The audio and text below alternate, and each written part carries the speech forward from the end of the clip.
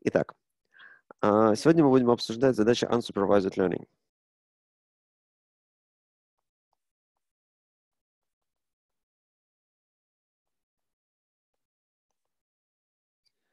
А, значит, в общем случае unsupervised learning – это такая история, что у вас есть какие-то данные, и у вас нет правильных ответов. И вам нужно что-то научиться с этими данными делать. А, найти в них какую-то структуру, которая была бы для чего-то полезной. А, ну, в отличие от задачи Supervised Learning, которая поставлена достаточно четко, вот у вас есть Y, вам нужно по X научиться предсказывать Y, так, чтобы это хорошо работало на новых данных. Тут все более-менее четко. А, в задаче Unsupervised Learning заранее непонятно, что нужно делать.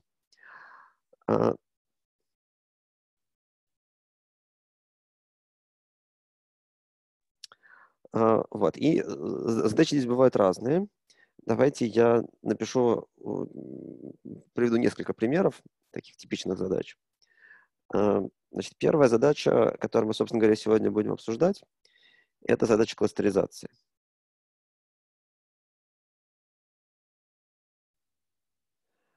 А, значит, что такое кластеризация? Вот у вас есть какие-то данные, допустим, у вас есть две какие-нибудь фичи, пространство признаков двумерное, два признака, и есть какие-то данные.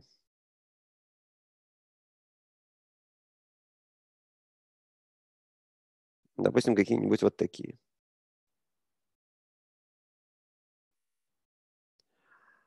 А, и, ну вот, я сейчас визуально гляжу на ту картинку, которую я нарисовал, и здесь видно, что эти мои точечки, они разбиваются в три отдельные кучки. Вот одна кучка, другая кучка, третья кучка.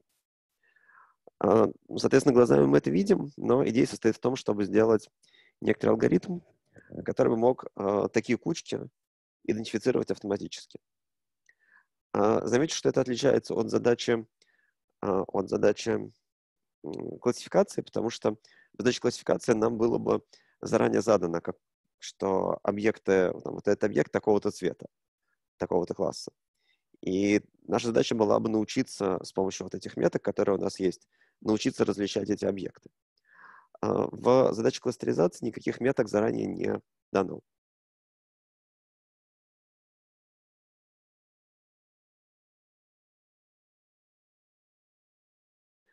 А, и нам нужно как-то научиться эти самые значит, разделения на кластер, разделения фактически на несколько, на несколько типов данных, научиться как-то его находить просто по данным, безо всяких правильных ответов. А, значит, задача разбить, разбить на несколько кучек.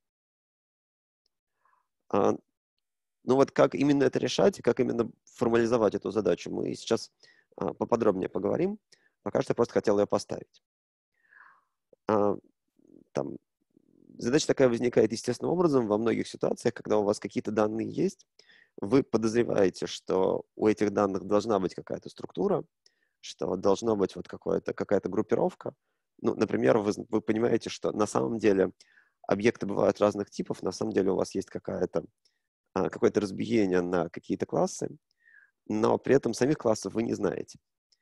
А, но догадываетесь, что они должны быть ну, допустим, я не знаю, приходит к вам посетители на сайт, а, вы анализируете данные с этого сайта и подозреваете, что, ну, скажем, я не знаю, а, допустим, мужчины и женщины должны пользоваться по-разному. Но посетители сами не представляются, и вы не знаете, кто из них мужчина, а кто женщина. Но вот догадываетесь, что они должны как-то группироваться по двум разным кучкам. Или, например, там не мужчина, женщина как-нибудь по-другому, допустим, по по возрасту, каким-нибудь возрастным группам. Подозреваете, что вот есть какие-то разные возрастные группы, достаточно четко выделенные, которые должны вести себя по-разному. Вот, это первая задачка. То есть, опять же, общий, общий фреймворк такой, что у нас есть данные, и нам нужно в этих данных установить какую-то структуру. А, второй тип задач unsupervised learning – это задача снижения размерности.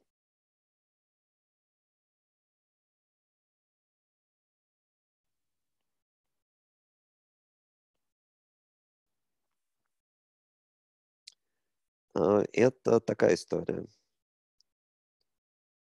У вас есть какие-то данные, которые лежат в каком-то многомерном пространстве.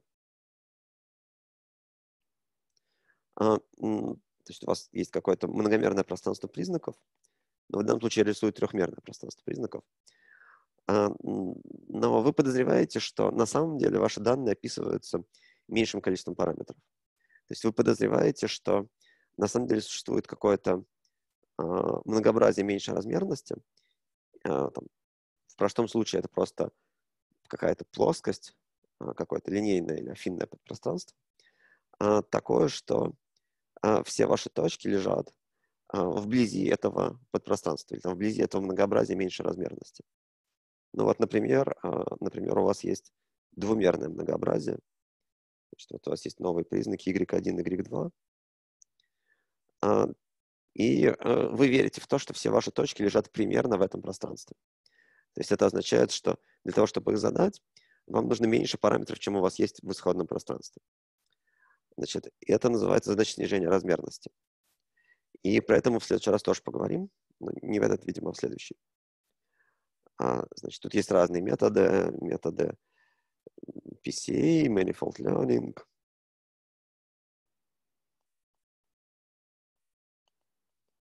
Общем, всякие разные. Вот. Значит, что еще можно отнести к задачам unsupervised learning? Можно отнести, например, такую задачку. Оценка плотности.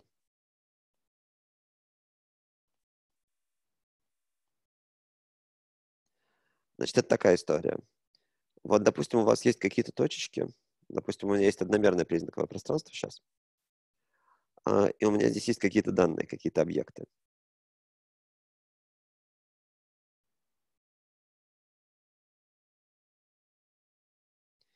И я предполагаю, что эти данные пришли из какого-то, то есть они были сгенерированы в качестве некоторой выборки из какого-то допустим, абсолютно непрерывного распределения. То есть я верю в то, что есть какая-то плотность, которая задает некоторую случайную величину, и мои вот эти точечки были получены как реализация этой случайной величины. А, задача, задача, а, которая здесь есть, это задача оценить плотность этой случайной величины. То есть вот у меня есть вот такие точки, я предполагаю, что есть какая-то такая вот функция, какая-нибудь вот такая.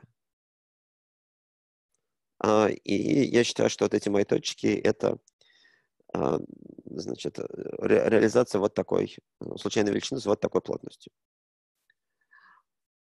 Надо сказать, что вот в этой задачке, в задачке, э, в задачке оценки плотности, а, здесь проявляется некоторое не слишком сильное разделение между задачками supervised learning и задачками unsupervised learning. Потому что давайте представим себе, что у меня данные устроены не так, как я здесь нарисовал, не, не одномерная э, история, не история с одним признаком, а история с двумя признаками. А, значит, здесь есть некоторая связь с supervised learning.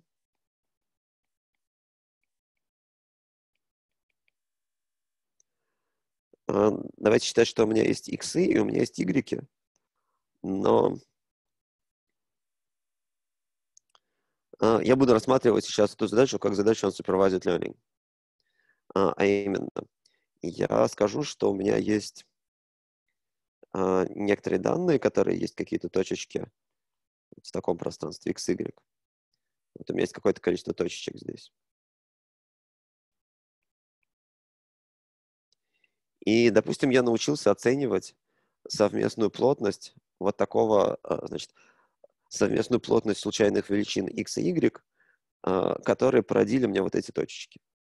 Это означает, что у меня есть вот какая-то, а, значит, какая-то здесь совместная плотность.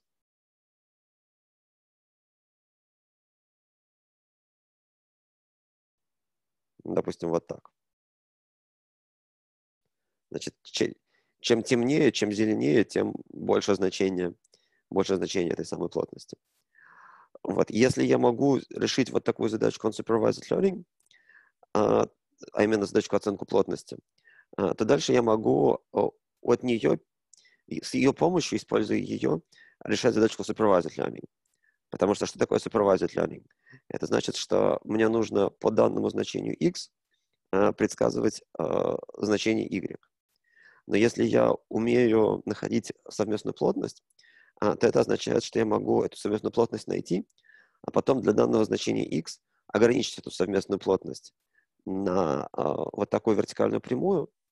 Э, здесь получится какое-то уже одномерное распределение.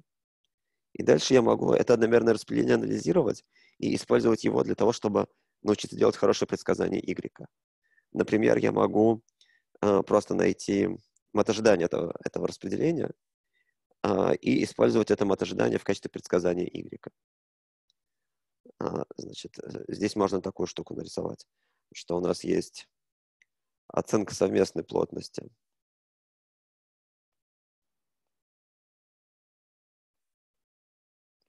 XY позволяет мне оценить условной плотности. Y при условии, что x равен заданному значению. И дальше можно сделать, получить предсказание. Значит, f там, с крышечкой от x. Это, например, равняется ожиданию от вот этого самого распределения.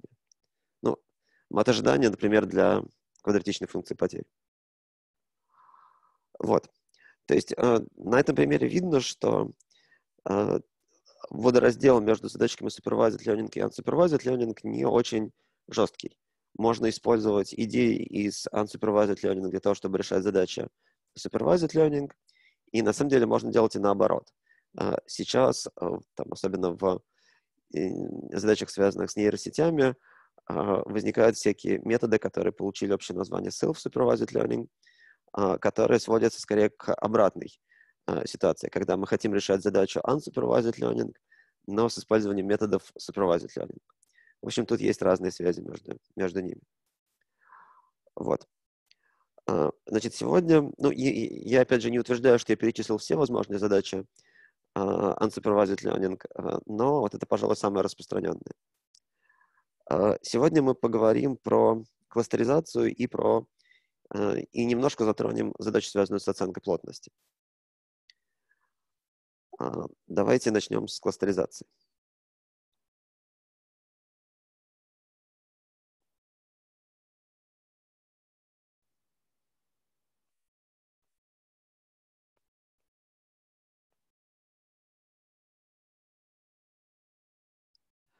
Значит, э, что мы получаем в задаче кластеризации? Ну, э, у нас есть какое-то количество объектов, и э, у нас есть какая-то мера сходства или мера различия, или что-то вроде расстояния между этими объектами.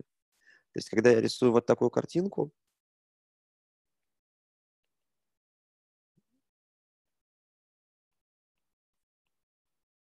и говорю, что я хочу найти в этой картинке какие-то кластеры, ну, то интуитивно понятно, что я имею в виду.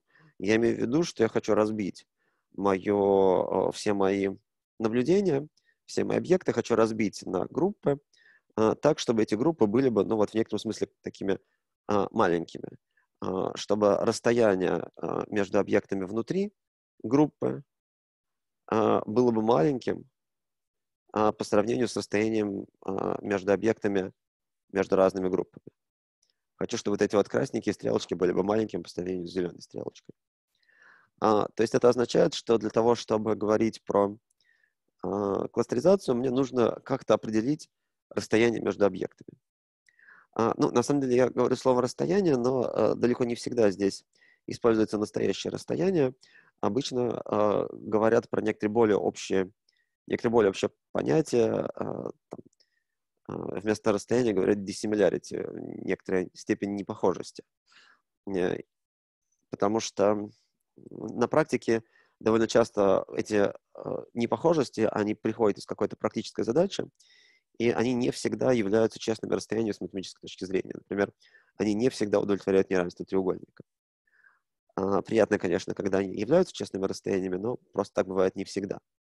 Например, потому что у вас может информация про, про вот эти самые э, различия между объектами, она может возникнуть, ну, например, вы просто предъявляете людям два объекта и просите этих людей э, оценить, насколько эти два объекта похожи между собой. И дальше вот таким образом э, данные как бы субъективные оценки, они вполне могут не удовлетворять неравенство треугольника. В общем, короче говоря, у нас есть, как правило, у нас есть э, э, есть э, информация про э, то, какие объекты похожи, а какие нет. Э, информация похожести.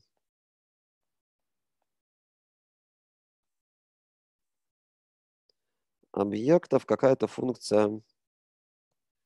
Э, значит, ну давайте я скажу, что это будет функция d. Допустим, у меня есть два объекта i и g. А, значит, и g это просто номера моих объектов. Значит, и равняется 1n, g равняется 1n. А, это номера объектов.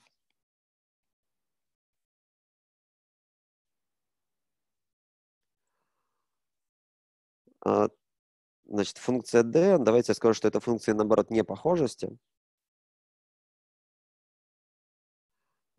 Значит, функция d – это dissimilarity.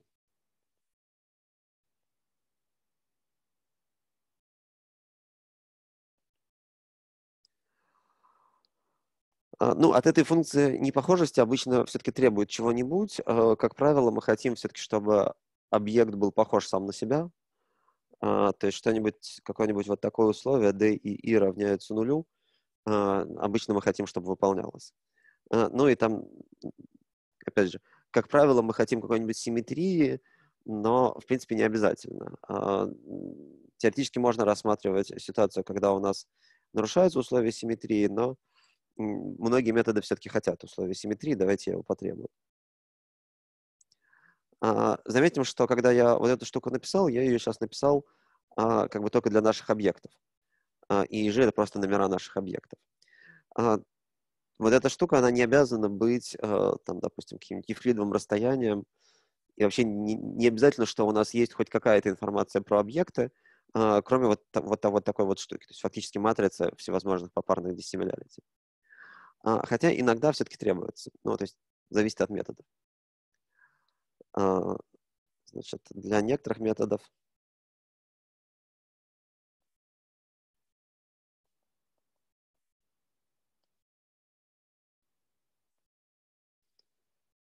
требуется, чтобы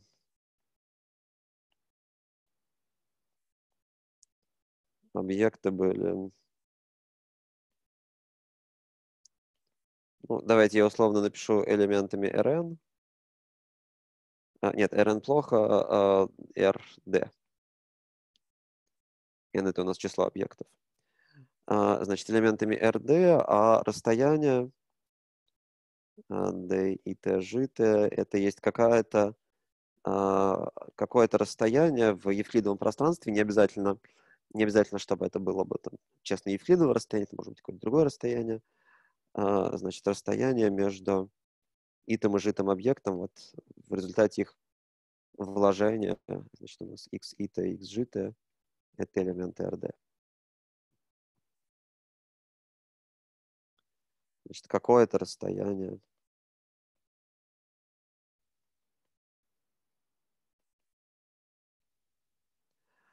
А, надо сказать, что вот э, этот способ задания расстояния, он очень важен. А, потому что, ну, теоретически, если у вас есть какие-то объекты, если у вас эти расстояния, вот эти вот dissimilarity не заданы априори, а, например, а, они э, заданы как элементы RD, определение вот этой штуки, э, вообще говоря, может приводить к совсем разным результатам. Ну, представьте себе, что у вас есть такой э, совсем тривиальный пример. Давайте представим себе, что у нас есть вот такие, вот такие объекты. Значит, вот у меня есть четыре объекта, которые я нарисовал вот так. Это у меня x1, это у меня x2. А, вопрос, как они кластеризуются?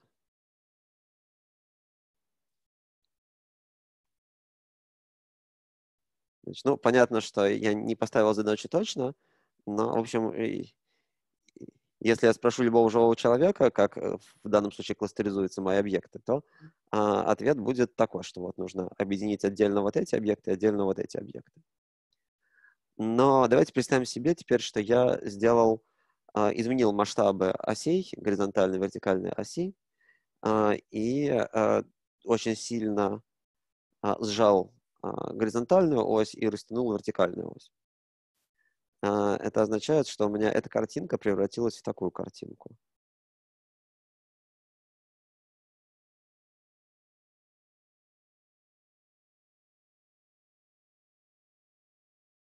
Ну или что то же самое, я в качестве моей метрики, а, допустим, вот здесь у меня была обычная евклидова метрика, вот такие были кружочки.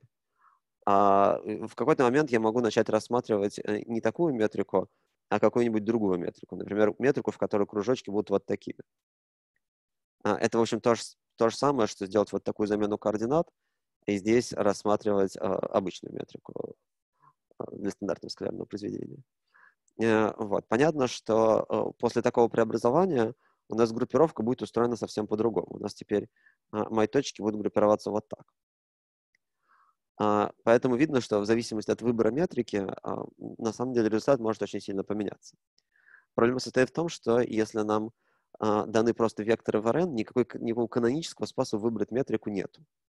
Потому что у вас разные, как бы по разным осям могут быть написаны вообще числа, которые меряются в разных системах координат, означают разные, могут иметь разные как бы практические, практические последствия их изменения.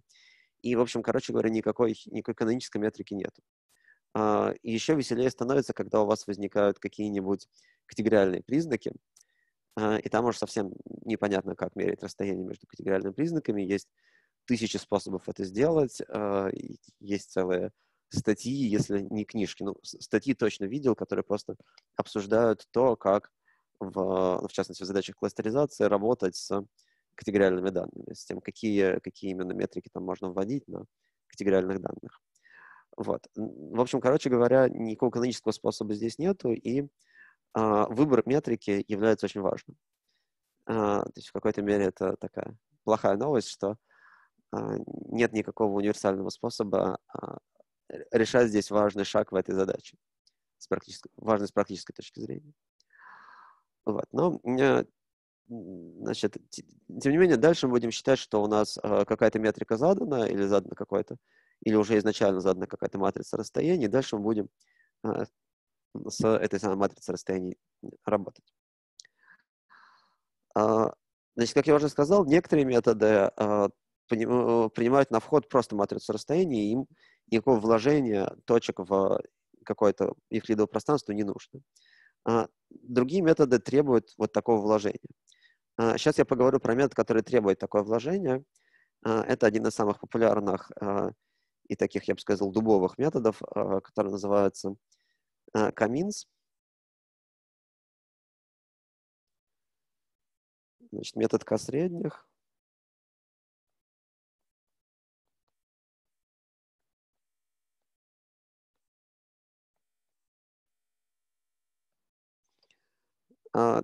Давайте я покажу, как он устроен. Значит, вот, допустим, у нас есть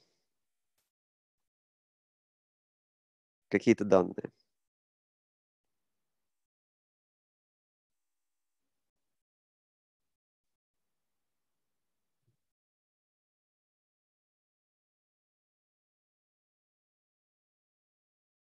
Допустим, что-нибудь в таком роде. Ну, давайте я попробую нарисовать еще третий кластер, какой-то естественный. А, допустим, у меня вот такие данные. А, дальше. Первый шаг. А, я хочу, значит, мне нужно задать, сколько у меня будет кластеров. С самого начала я задаю количество кластеров. Значит, нулевой шаг – задать количество кластеров. Значит, задается k число кластеров. Дальше, первый шаг – а, выбирается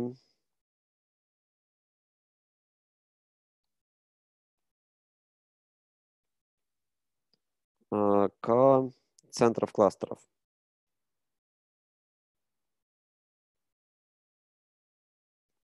Значит, они называются центроиды. Значит, центры кластера — это какие-то точки в моем пространстве. Ну вот давайте я буду их как-нибудь рисовать разными цветами. Значит, я случайным образом их, допустим, выбрал. А, они могут совпадать с моими точками, а, могут не совпадать. Это не очень важно. А, ну, то есть важно, но сейчас я про это не буду говорить. Значит, ну вот, допустим, я выбрал какие-то центры кластера, скажем, поставил точечку вот сюда, поставил точечку вот сюда, и поставил еще какую-нибудь точечку, э, скажем, вот такую точечку вот сюда. А, следующий шаг. А, каждая из моих точек в моих данных относится к какому-то из одного из кластеров. А, значит, отнести объекты к кластерам.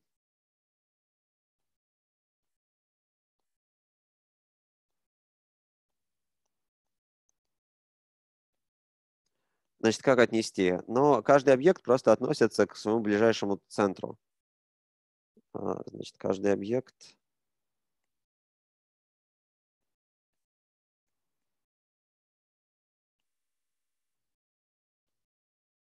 относится к ближайшему центроиду.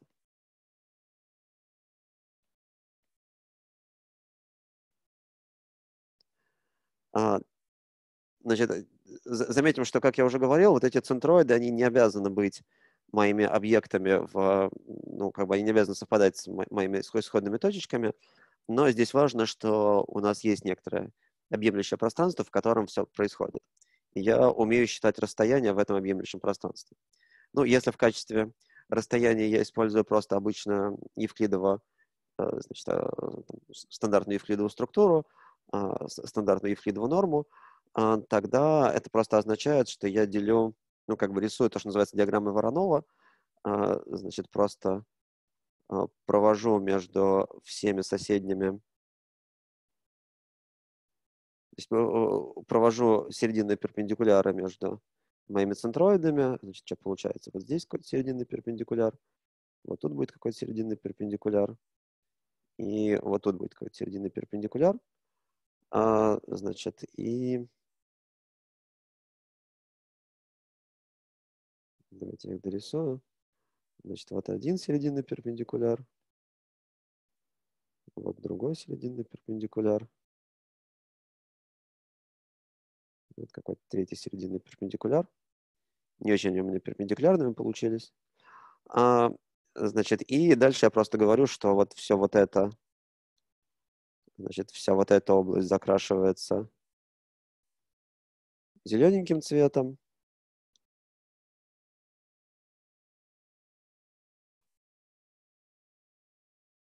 Дальше. Значит, вот эта область закрашивается синеньким цветом.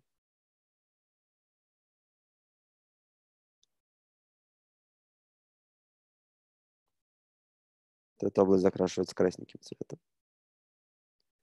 А, что-то я э, не, совсем понятно, что здесь происходит, но это я просто не, не очень удачную картинку нарисовал.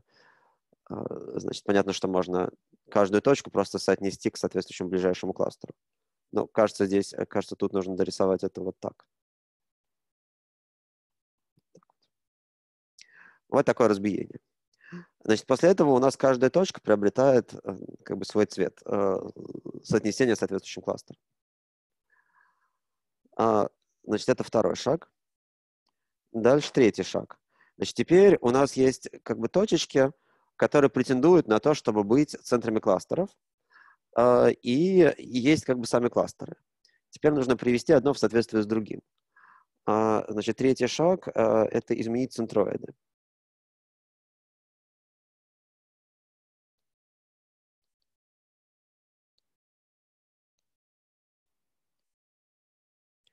Значит, идея состоит в том, чтобы каждый центроид должен перейти в точку, которая минимизирует там, э, некоторую функцию потерь, ну, например, минимизирует сумму квадратов расстояний до всех точек а, своего, а, своего кластера.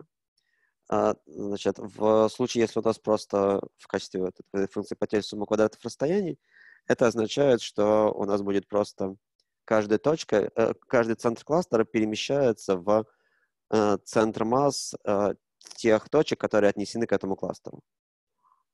Значит, каждый центроид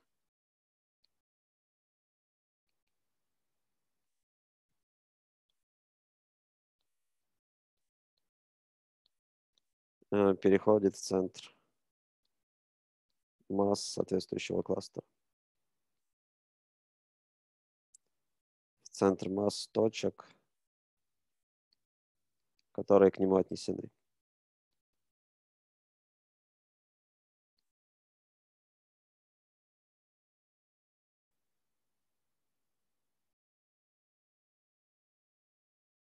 А, то есть, например, а, вот, вот эта точка, она сдвинется в сторону, сдвинется куда-то вот сюда. А, вот эта зелененькая точка, эта зелененькая точка сдвинется, допустим, куда-то куда-то сюда. Эта красненькая точка сдвинется куда-то сюда.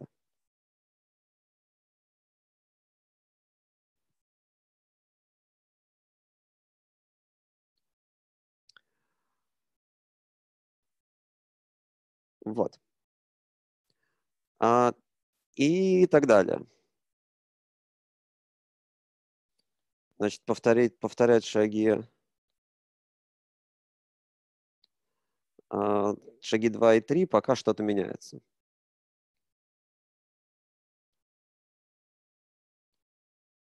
До сходимости. А, значит, ну, на самом деле тут получается такая история, что здесь постоянно уменьшается расстояние от точки до а, от каждого центра кластеров до соответствующих точек, которые к этому кластеру относятся. А, поэтому эта процедура всегда сходится. Она такая монотонная. Ну, это нужно аккуратно, аккуратно доказывать, но в целом э, идея такая, что здесь есть некоторая монотонность. Ну, собственно говоря, кажется, да, кажется, как раз ключевое рассуждение именно в том, что расстояние от, от центров кластеров до точек, которые к этому кластеру относятся, а, ну, типа, среднее расстояние будет всегда уменьшаться. Как-то так. Нужно аккуратно это написать. А, вот. А, и, соответственно, в результате получается, ну, процедура достаточно естественная. Значит, у нас каждый раз, с одной стороны, центры кластеров выбираются так, чтобы быть действительно центрами кластеров, а с другой стороны, точки распределяются между этими кластерами тоже естественным образом. Каждая точка к ближайшей.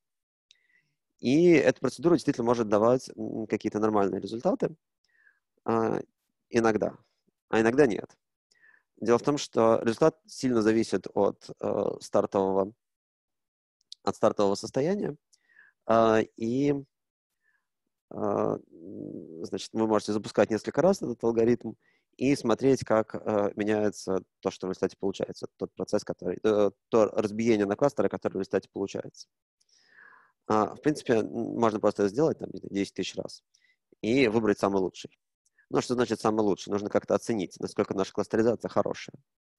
А, ну вот, э, один из способов оценки хорошести кластеризации такой.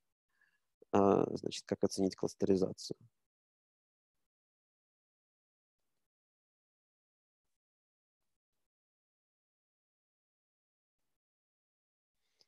Ну, давайте мы сделаем такую штуку. Мы просто посчитаем. Вот у нас есть какое-то разбиение на кластеры, допустим. А, вот так мы разбили на кластеры. Вот у нас один кластер, вот у нас другой кластер.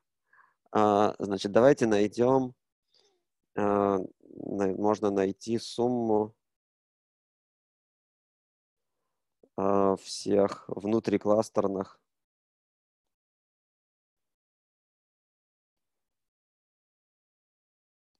расстояний. Ну, или не расстояние, а там dissimilarities.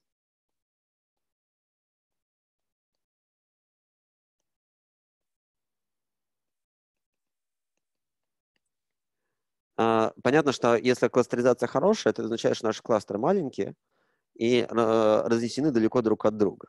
Это означает, что у нас э, сумма этих самых внутрикластерных расстояний у каждого кластера, а, она будет маленькая. И это как раз хорошо. Значит, чем меньше, тем лучше.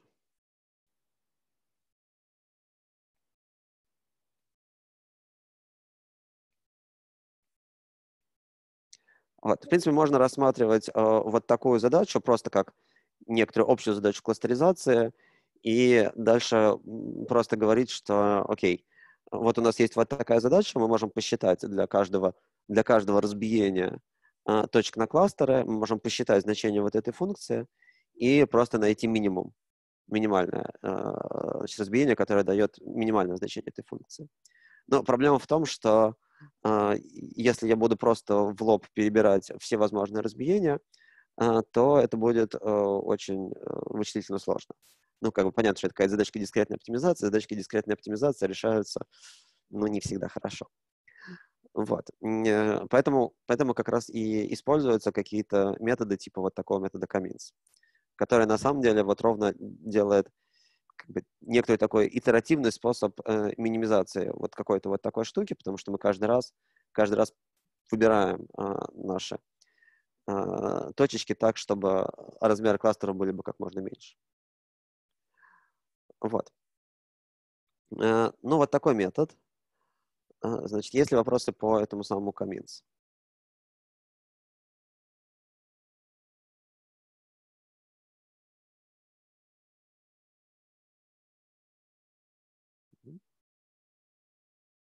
Хорошо. А, значит, соответственно, можно применить алгоритм Каминс несколько раз к разным случайным инициализациям, а потом а, выбрать, э, какая кластеризация лучше, ну вот, например, по вот этому критерию. А, дальше. А, ну, давайте я расскажу некоторую штуку, которая связана с э, алгоритмом Каминс.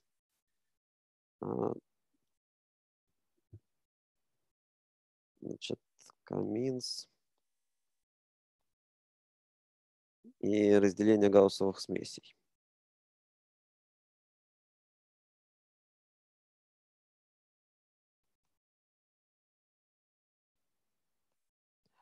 Значит, задачка разделения гауссовых смесей относится к а, третьему типу а, задач а, обучения без учителя, задачам supervised learning – к задачам оценки плотности. Значит, что такое, что такое разделение гауссовых смесей? Ну вот давайте представим себе, что у меня есть данные. Давайте я буду рисовать сейчас пока в одномерном, значит, одномерную картинку. Значит, вот у меня есть данные, вот у меня есть какие-то точечки. Допустим, вот такие.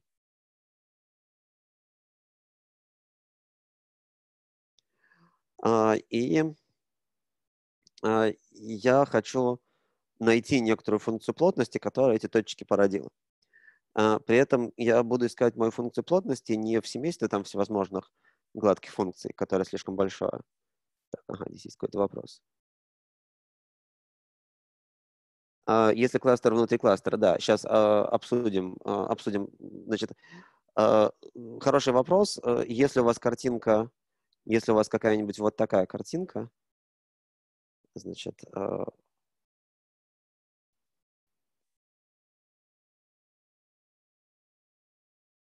вот такая картинка, а, то понятно, что мы скорее выделим внешнее колечко и вот это внутреннее колечко а, глазками, если посмотрим. Но метод Каминс ничего хорошего вам а, про эту картинку не скажет, потому что он будет пытаться ее разделить, ну вот как-то ну, фактически метод Каминс, он пытается, там, если вы делаете двухкластерную классификацию, то у вас всегда разделение между кластерами происходит по прямой. А, как раз просто посередину перпендикуляра между центроидами. Поэтому с вот такой картинкой ничего хорошего он вам не выдаст. Он вам выдаст, конечно, какое-то разбиение на два кластера, э, но оно не будет соответствовать вот такому. А как получить вот такое разбиение, это мы, это мы сейчас тоже поговорим, если успеем. Хороший вопрос. Вот. Итак, А, возвращаемся к разделению гауссовых смесей. А, значит, мы предполагаем, что наши данные произошли из э, некоторой гауссовой смеси. Ну, что такое гауссовая смесь? Это когда у вас есть такая случайная величина, которая устроена так. А, вот у вас есть, допустим, две какие-нибудь гусяны. У вас есть одна гусяна, а тут есть другая гусяна.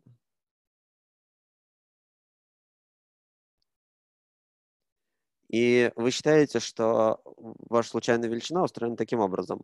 А, вы сначала подкидываете монетку и выбираете, из какой гаусианы э, брать точку, а потом выбираете случайную точку из соответствующей гаусианы, из соответствующего нормального распределения. Значит, смесь двух случайных величин. А, и мы предполагаем, что вот эти вот наши точечки, они были получены как раз из а, вот такой вот э, смеси двух гауссовых. А, это примерно соответствует идее кластеризации, то есть мы считаем, что у нас одни точки пришли там вот как-то из одного кластера, который вот как-то как вот так распределен, другие точки пришли из другого кластера. Задача состоит в том, чтобы найти соответствующие гаусианы. А проблема состоит в том, что мы заранее не знаем, какая точка к какой гаусиане относится. Если бы мы знали, какая точка к какой гаусиане относится, то тогда, а, в принципе, это было бы не очень сложно. А, значит, мы могли бы использовать какой-нибудь метод максимизации правдоподобия, а, и мы знаем, что если у вас есть, как бы, могли бы каждую гаусиану находить по отдельности, просто для оценки каждой, каждой гаусианы использовать точки, которые к ней относятся. И дальше задача становится простой. Задача сводится к тому, чтобы по заданному набору точек э, найти э, нормальное распределение, из которого эти точки, скорее всего, взяты. Это просто задача, которая решается методом максимизации правдоподобия. Мы знаем там ответ просто в замкнутой форме. Вот ожидание будет равна выборочному среднему, дисперсия будет равна э, смещенной, смещенной дисперсии, опять же, выборочной. Вот. Проблема в том, что заранее у нас никакого распределения точек на э, кластер нет. Вот у нас есть здесь вот эта точка, мы не знаем, откуда она. Она а, вот отсюда или вот отсюда. А, вопрос, как действовать? А, ответ. Действовать примерно так же, как в Каминс. Значит, здесь алгоритм устроен так. Значит, эта штука называется EM-алгоритм.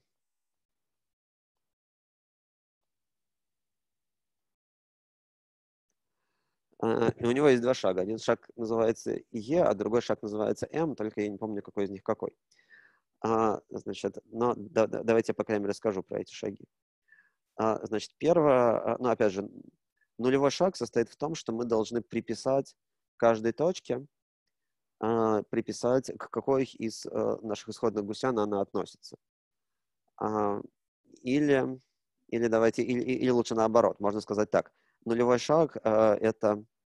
Тут можно начинать с одного из двух шагов, но давайте я скажу так. А, нулевой шаг, например, э, как-нибудь раскидать наши гаусяны. А, значит, выбрать параметры. Ну, хорошо, он был первым в прошлый раз. Опять же, нулевой шаг – это задать k число гусян.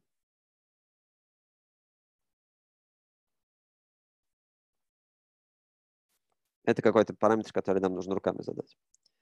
А, дальше. Шаг первый. Выбрать как-то параметры этих гуся.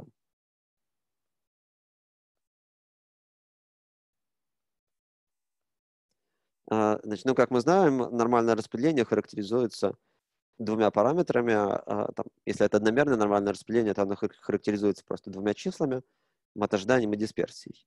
Если это многомерное нормальное распределение, то оно характеризуется а, значит, ожиданием, а, которое есть векторная величина, и матрица ковариации, которая есть а, симметричная матрица, положительно определенная, матрица некоторых квадратичной формы.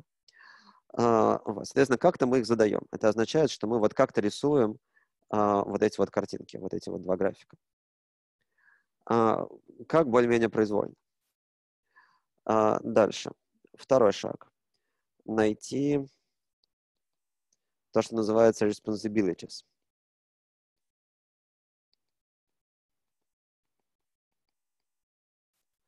Значит, для каждого объекта, значит, для этого объекта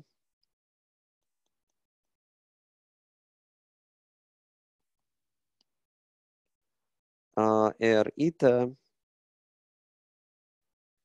это есть, давайте я напишу R и T ката, значит, итого объекта и каты гаусяне.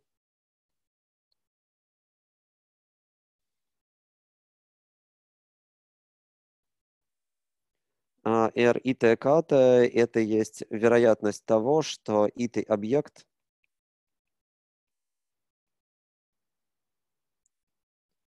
взят из каты Гаусяна.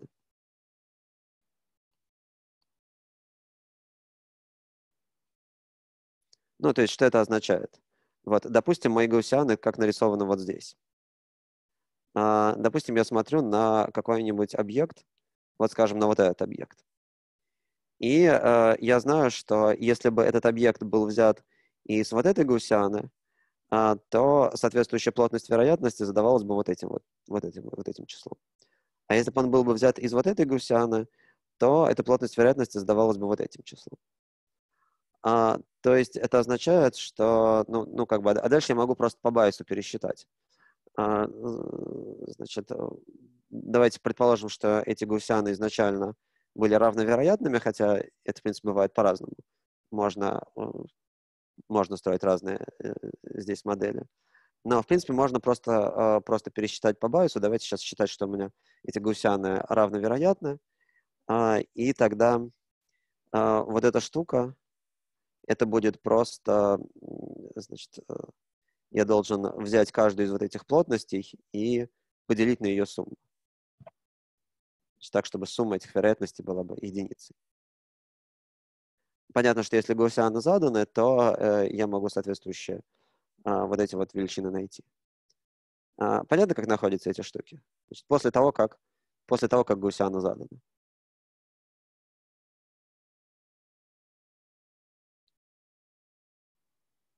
А, значит, посчитать с помощью правила Байеса.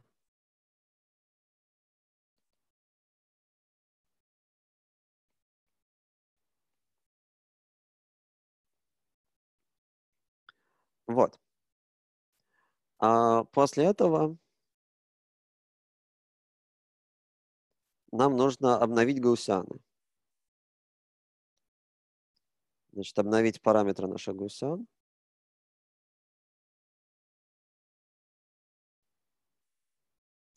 А, ну, как мы их будем, обна... Как мы их будем обновлять? Вот если бы у нас, э, ну, теоретически можно было бы действовать а, в точности так же, как в методе Каминс. А именно, можно было бы сказать, что я просто жестко отношу каждый из моих объектов, жестко отношу к одной из двух гусян, ну, например, к той, которая более, а, значит, у которой а, правдоподобие больше. А, и тогда я мог бы сказать бы, что вот на этом этапе я просто скажу, окей, вот у меня, допустим, вот эти гусяны, вот эти точки относятся к вот этой вот малиновой гусяне, значит, я просто обновлю эту малиновую гусяну так, чтобы у нее мотожидание равнялось бы мотожиданию по всем этим точкам, ну, не мотожидание, а выборочному среднему по всем тем точкам, которые к ней отнесены, а дисперсия, соответственно, тоже равнялась бы выборочной дисперсии по вот этим точкам.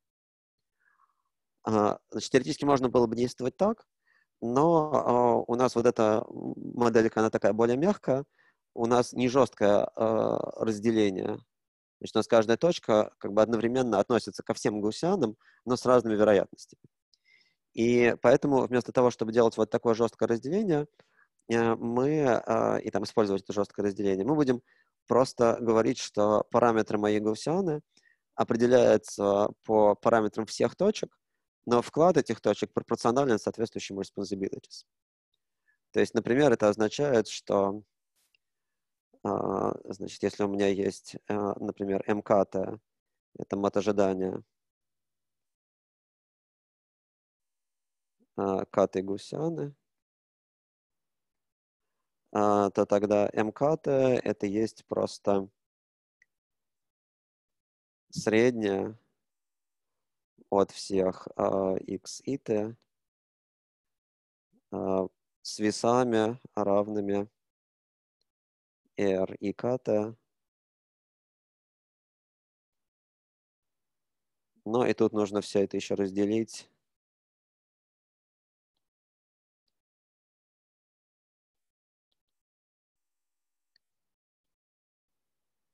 на сумму всех R и катах.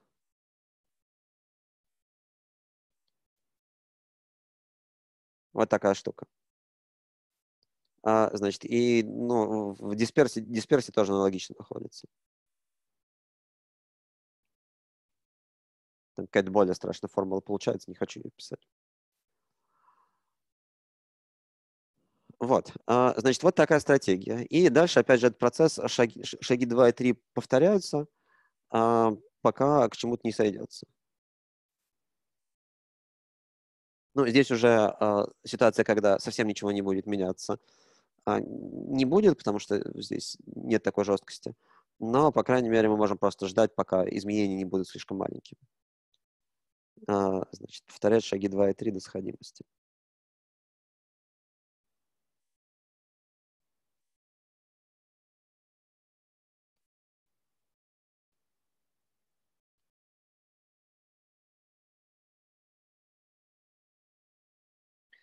Вот такая штука, такой алгоритм. А, понятно ли, как он работает?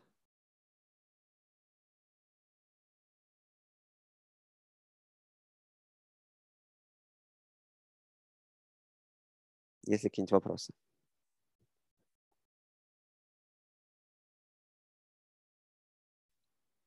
Надо сказать, что у этого алгоритма, у EM-алгоритма есть а, всевозможные гораздо более общие варианты, есть, есть разные обобщения. А, ну, таким довольно далеким обобщением а, является штука, которая называется вариационным автокодировщиком. А, ну, вот там, если вы будете заниматься когда-нибудь какими-нибудь байсовскими методами в нейронных сетях, то э, там как раз это один из таких основных объектов изучения. И он является некоторым дальним потомком этого EM, EM алгоритма. Может быть, не таким уж и дальним. Вот. Значит, Надо сказать, что в случае, если э, у нас картинка не, не вот такая одномерная, если она двумерная, то это становится очень похоже на алгоритм Каминс. Э, основное различие состоит в том, что здесь можно, э, как бы обычно э, в таком EM-алгоритме можно разрешать нашим гаусианам иметь разные матрицы разные матрицы дисперсии. То есть, если мы бы сказали бы, что матрицы дисперсии у всех одинаковые, э, то это было бы очень похоже на EM-алгоритм, потому что тогда а, значит, вот этот способ отнесения, а, отнесения объектов к гаусианам, он бы в точности бы соответствовал бы тому, что какая гусиана ближе, какой, какой центр гусианы ближе. Ну, представьте себе, что у вас а, что у вас, а, значит, все гусяны просто имеют такие, а, что у вас квариационная матрица просто скалярная. Это означает, что у вас соответствующая гусяна просто вот такая вот, э, значит, как у нее все линии уровня просто круги. И тогда вот эта вот процедура, она будет просто искать, относить каждый объект к ближайшему, ну, вероятность отнесения объекта к а, какому-то кластеру будет э, пропорционально а, э, расстоянию до этого кластера. Это экспонент какой-то нужно написать еще. Вот. А если разрешить, если разрешить э, абы какие дисперсии, то тогда, в принципе, мы можем значит, строить какие-то чуть более сложные штуки. То есть у нас может такое быть, что вот у нас одна гаусиана, которая устроена вот так, и у нас другая гаусиана, которая устроена вот так.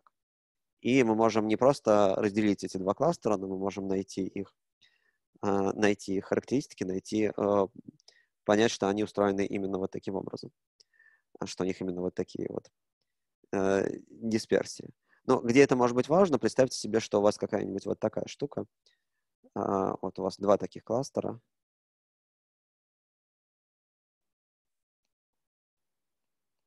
Один вот такой, а другой вот такой.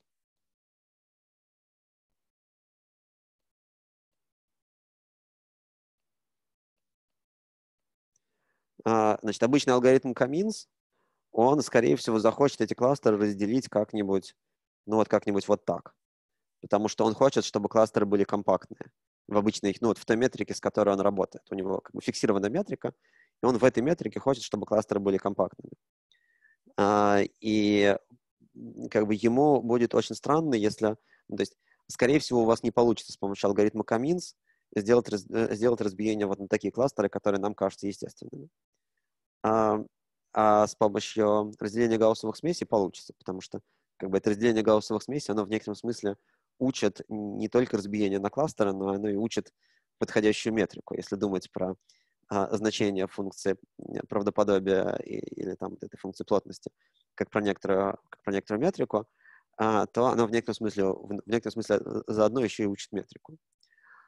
Вот. Но, а, значит, такие вот есть, такой есть подход.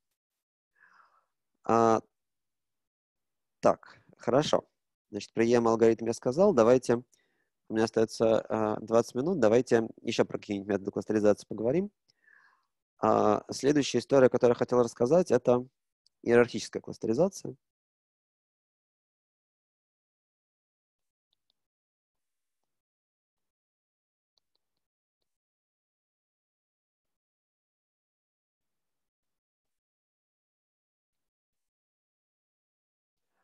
Значит, что такое иерархическая кластеризация? А, давайте считать, что вот у меня есть какое-то количество точек, опять же. Значит, для метода Каминс нам нужно, чтобы точки были вложены в какое-то пространство. Для иерархической кластеризации нам не нужно знать ничего, кроме, а, кроме а, того, какие расстояния между точками. Не, не нужно знать ничего, кроме матрицы. Но э, давайте посмотрим, как эта штука работает. Значит, она строит такую иерархию кластеров. А, значит, есть два, есть два подхода. Подход снизу вверх и подход сверху вниз. Я сейчас буду обсуждать подход снизу вверх. А, как-то мне кажется, что он лучше, ну, то есть он, он, очевидно, лучше изучен, и мне кажется, что он лучше работает. А, значит, снизу вверх. А, на первом шаге мы считаем, что у нас каждый каждый объект находится в своем собственном кластере.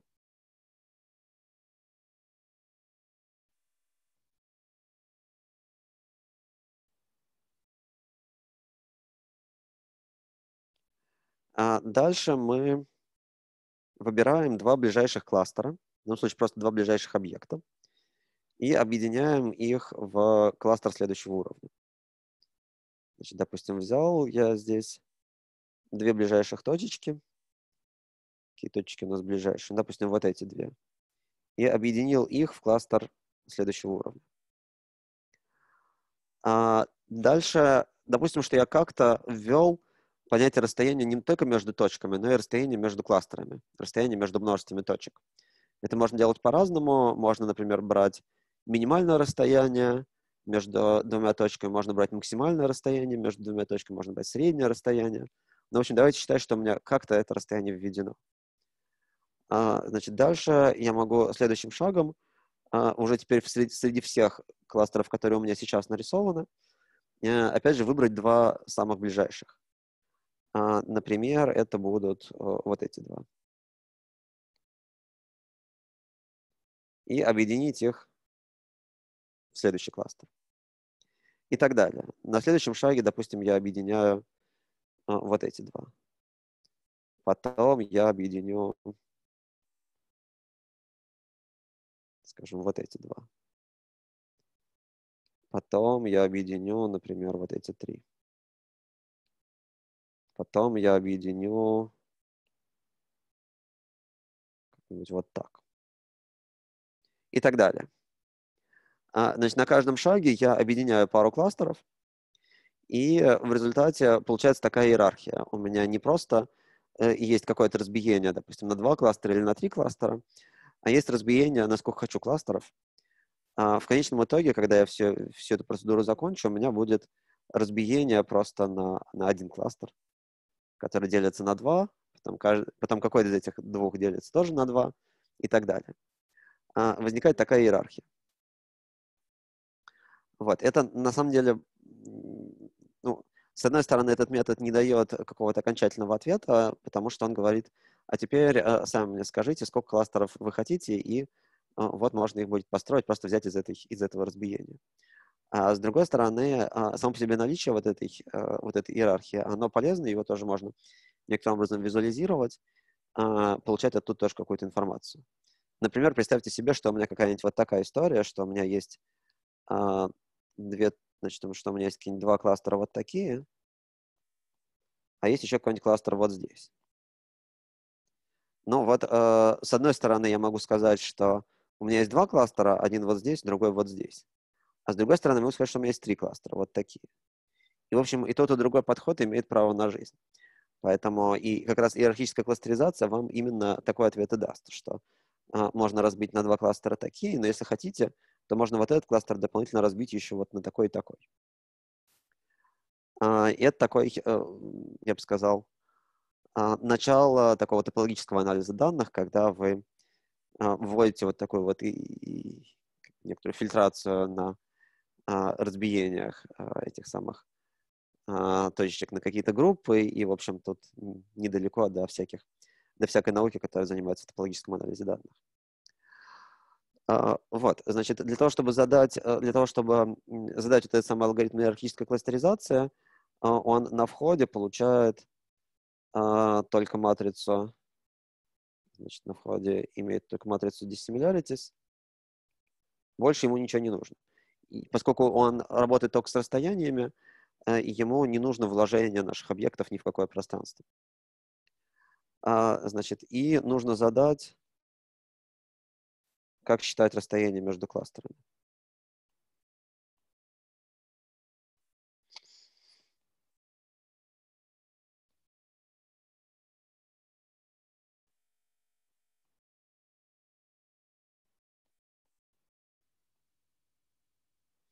Например,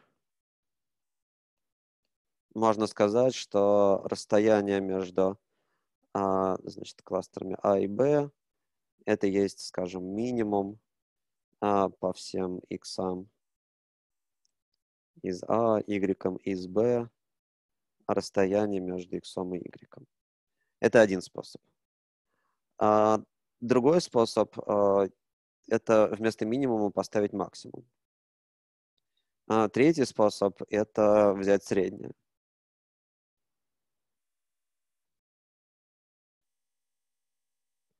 В общем, возможно, разные варианты. Они приводят к немножко разным результатам, но вот можно с этим поиграться, посмотреть, э, что как работает. Вот. Так, есть ли вопросы по поводу иерархической кластеризации?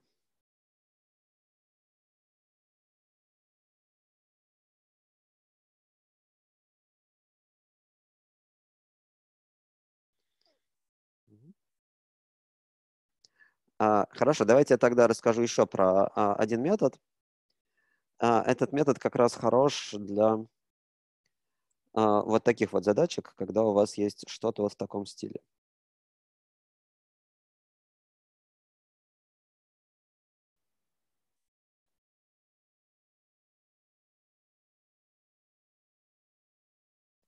Спектральная кластеризация –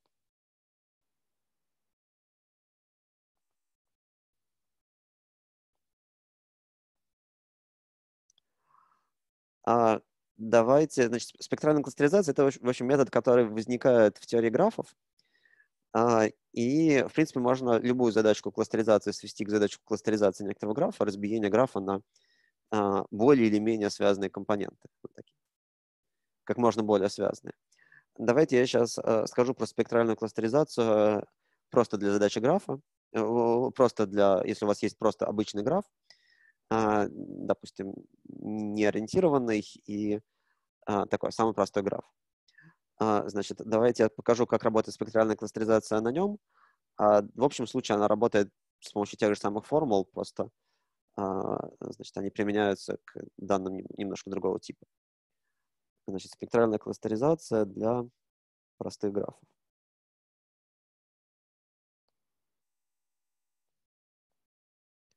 Значит, давайте считать, что у меня есть некоторый простой граф, а, и я хочу в этом простом графе найти компоненты связанности. Какая-нибудь вот такая штука.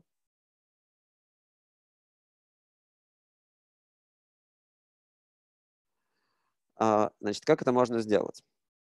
Давайте, а, давайте рассмотрим такой линейный оператор. Иерархическая кластеризация, э, не факт, что она сработает, потому что, а, ну вот как она будет делать? Она будет как-то, на самом деле, зависит от того еще, какую вы, а, какую вы метрику на этих самых, на множествах задали. Ну, то есть, в, в принципе, иерархическая кластеризация, скорее всего, выделит вот этот кластер в качестве одного из них. Дальше она начнет как-то, дальше будут выделяться какие-то кластерочки вот здесь, но Э, скорее всего, а, в какой-то момент у вас возникнет какой-нибудь вот такой кластер. Скорее всего, а, значит, вот какая-то такая штука, какая-то штука возникнет. Может быть, может быть, если правильно подобрать, если правильно подобрать э, метрику, и если точек достаточно много, может быть, она и, и вытащит вот эту структуру. Ну, так, э, сходу я сейчас не понимаю, как, как она будет срабатывать. Но, по крайней мере, вот такой риск есть.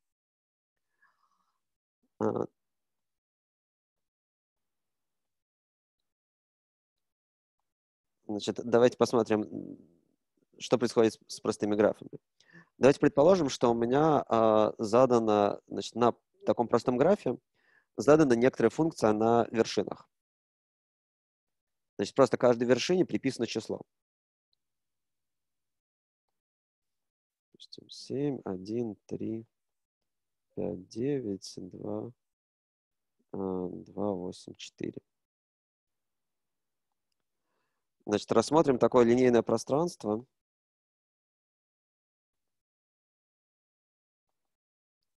функций из э, множества вершин в R. Значит, просто на каждой вершине написал число. А, давайте рассмотрим а, линейный оператор, который называется дискретным лапласом. А, значит, линейный оператор D. Нет, не D, пусть будет L. Дискретный лаплас.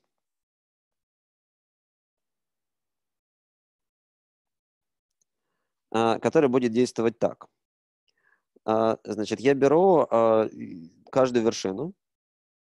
И считаю разницу между значением в этой вершине и средним значением в э, соседних вершинах, в инцидентных, в, э, ну да, в соседних вершинах, вершинах, которые связаны ребром.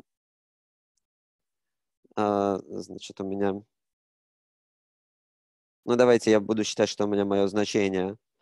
Э, это есть f пусть f от i значение в этой вершине.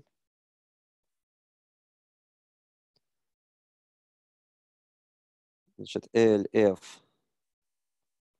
в точке i, это есть f от i, а вычесть средняя,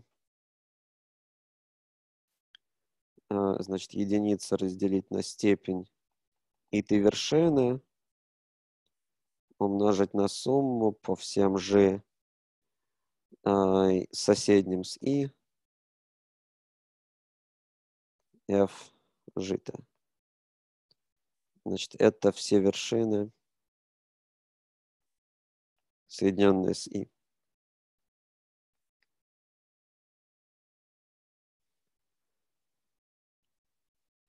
Значит, из, каждой, из, из каждого значения я вычитаю среднее соседних значений.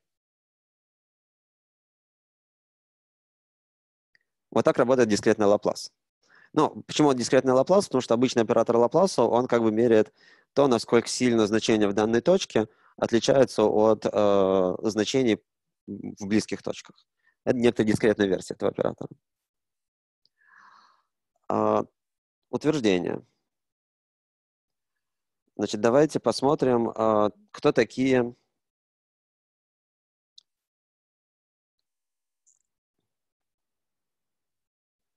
а, Значит, кто такие собственные векторы L с нулевым собственным значением?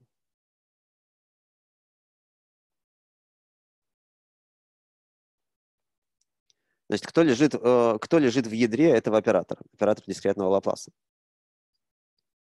Можете привести пример какого-нибудь вектора, который точно лежит в ядре?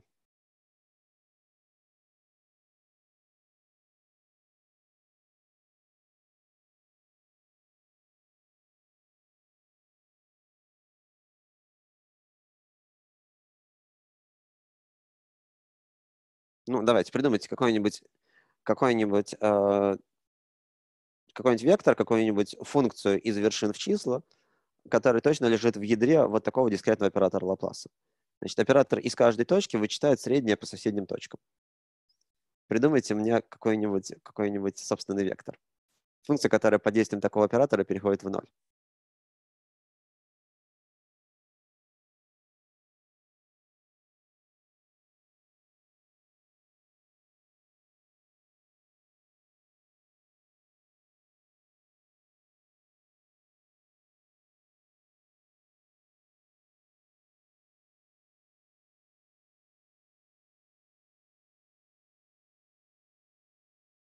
Константа. Да, отличный, а, отличный выбор. Значит, если я просто рассмотрю константу на всем графе, а, то, конечно, константа переходит в ноль под действием такого дискретного оператора Лапласа. А, хорошо. А какие линейно независимые векторы можно придумать? Вот, допустим, у меня граф как нарисован вот здесь. какие линейно независимые... Значит, можете ли вы придумать два, например, линейно независимых, два линейно независимых вектора, которые лежат в ядре?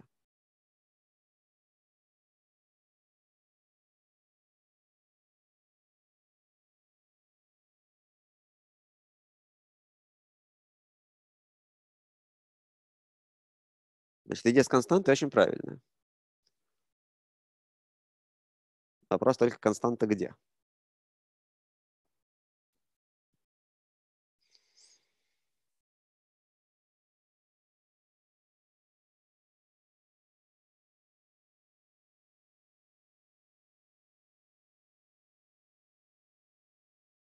Вообще, как вы думаете, сколько мерно ядро вот для такого, для такого графа?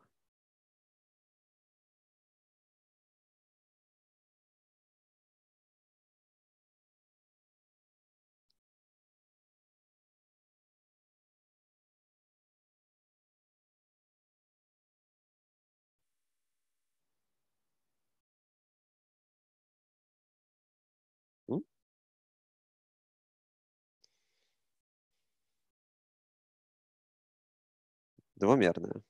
Почему двумерная?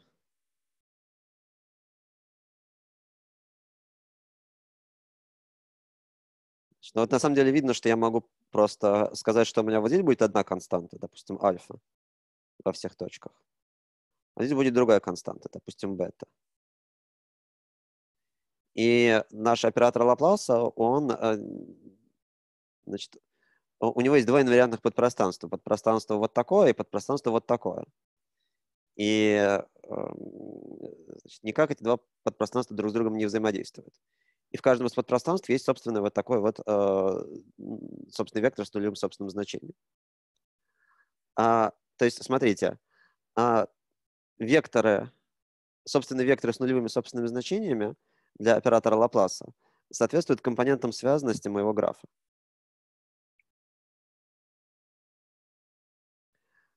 Значит, оказывается, я это сейчас не доказывал, уже не успею доказать. А, значит, оказывается, что для простых графов есть просто взаимно однозначное соответствие. Значит, никаких других собственных векторов нету. Никаких других.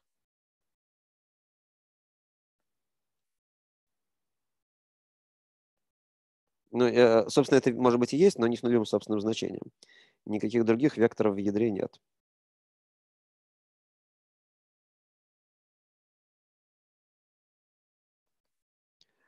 Вот, то есть э, дальше возникает такая идея. А, вот этот оператор Лапласа дискретный можно записать просто в виде матрицы. И дальше можно просто найти с помощью стандартных методов, численных методов, которые позволяют находить собственные векторы и собственные значения матриц, можно найти все собственные векторы с маленькими собственными значениями. Ну, в идеальном случае это просто будет с нулевым собственным значением, на практике у вас э, ваш граф будет не таким просто простым графом, а там будут какие-то силы связи между ними, и матрицы там будут чуть похитрее записаны. В общем, короче говоря, э, идея состоит в том, чтобы найти э, значит, найдем все э, собственные векторы.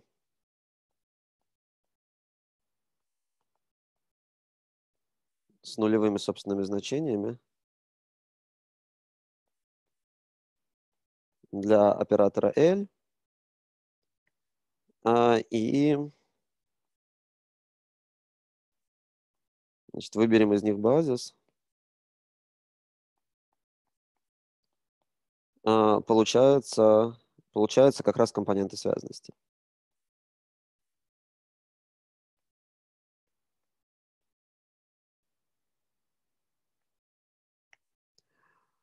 Вот.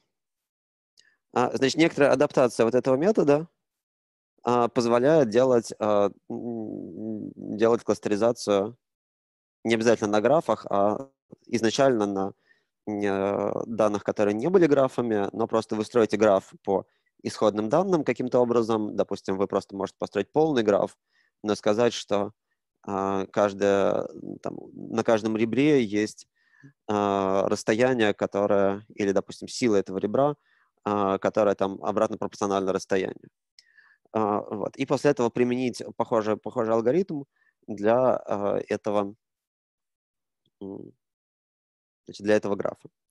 Вот, я не успел полностью про этот метод рассказать, но, в общем, в принципе, рассказал то, что хотел. Рассказал главную идею применения вот этого дискретного оператора Лапласа и определения вот этих компонент связанности в графах. Значит, давайте я покажу еще одну картинку. Значит, в scikit-learn есть... Не нужна мне Википедия. Значит, в в scikit-learn есть симпатичная картинка с разными алгоритмами э, кластеризации.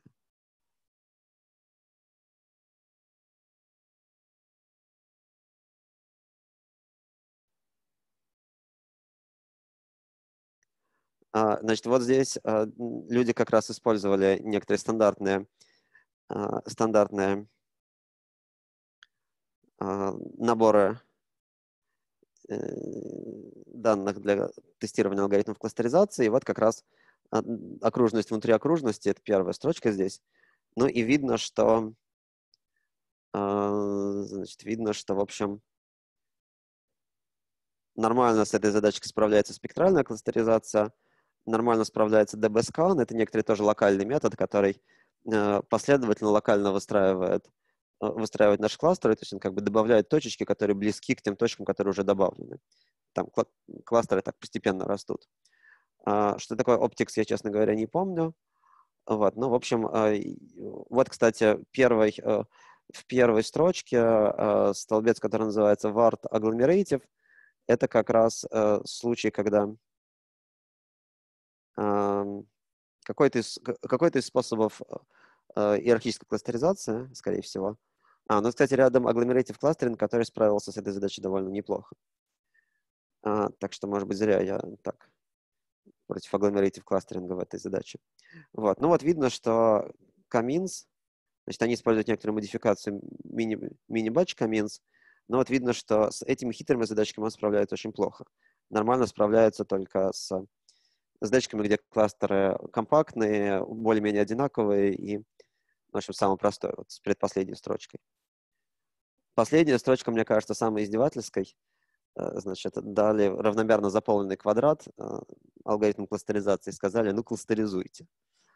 Значит, видно, как они по-разному пытаются справиться с этой задачкой.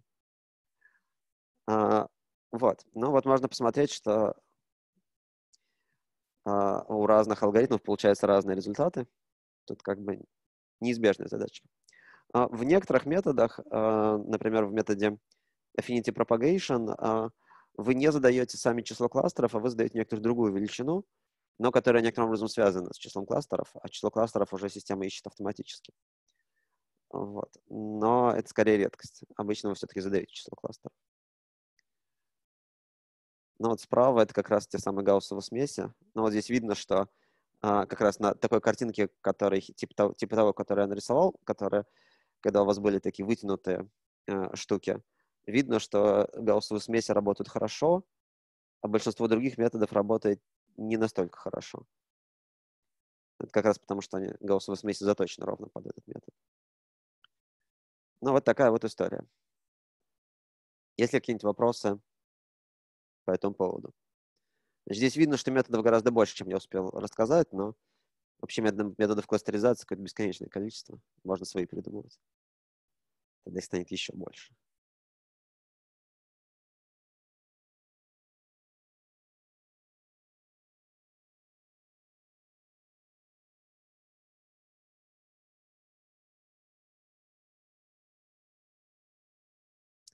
Окей, ну что, если вопросов нет, тогда на сегодня все. Так, семинар, насколько я понимаю, будет завтра, а не сегодня. До свидания.